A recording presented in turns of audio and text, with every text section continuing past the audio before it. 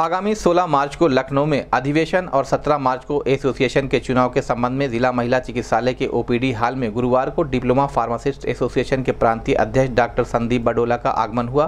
प्रांतीय अध्यक्ष का डिप्लोमा फार्मासिस्ट एसोसिएशन के पदाधिकारियों और कार्यकर्ताओं ने माल्यार्पण कर स्वागत किया। इस अवसर पर Umesh Pandey, D K Singh Girijapati Tripathi, Girijesh Mal OP Pandey, Amarnath Jaiswal, Shailen Tripathi सहित जनपद गोरखपुर के फार्मासिस्ट, चीफ फार्मासिस्ट और फार्मेसी अधिकारी मौजूद रहे। इस संबंध में गोरखपुर न्यूज़ संवाददाता से बात करते हुए डिप्लोमा फार्मासिस्ट एसोसिएशन के प्रांतीय अध्यक्ष डॉक्टर संदीप बडोला ने कहा।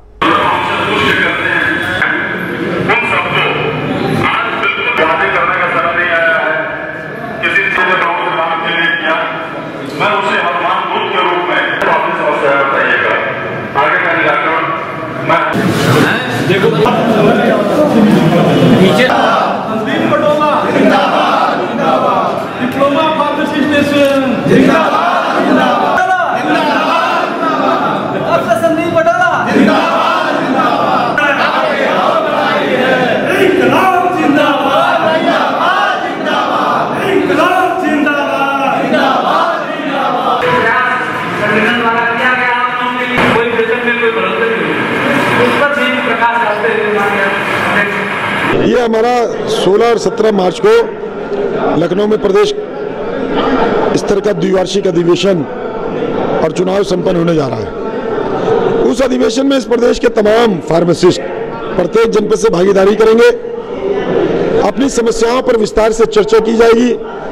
उनके निराकरण के लिए क्या प्रयास भविष्य में किए जाने चाहिए, इस पर विचार किया जाएगा।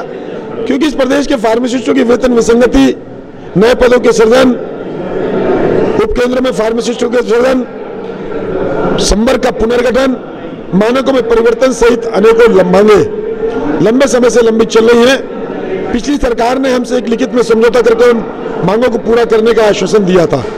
अभी दो तीन महीने पहले हम आंदोलन पर जा रहे थे। शासन ने हमसे एक माह का समय मांगों की पूर्ति के लिए मांगा। लेकिन इसके बाद भी आज तक उन मांगों की पूर्ति सुनिश्चित नहीं हो पाई है। दिनांक 16 मार्च को हम प्रदेश के फार्मासिस्टों के साथ बैठेंगे, उन समस्याओं पर चर्चा करेंगे, आगे की रणनीति तय करेंगे और आवश्यक हुआ तो आंदोलन पर भी जाएँगे। और 17 मार्च को इस प्रदेश कार्यकारिणी का द्विवार्षिक चुनाव भी वहाँ पर संपन्न कराया जाएगा।